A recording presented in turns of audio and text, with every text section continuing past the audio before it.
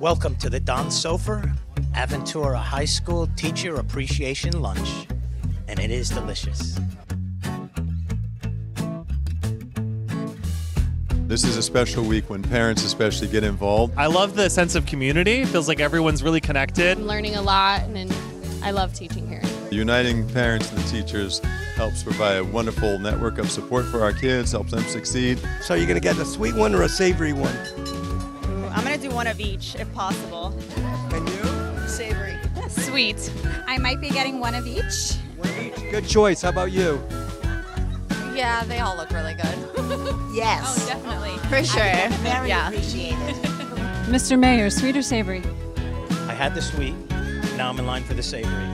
One of each, Perfect. maybe two of each. We have the best part of Don Soffer Aventura High School standing with me here, our volunteer moms. It's my pleasure to always make the teachers happy and serve our community. What do I like about the school? Everything. Happy teachers make happy students. Feeling very appreciated. So thank you to the City of Aventura. Thank you to all of our parents for making us feel super special.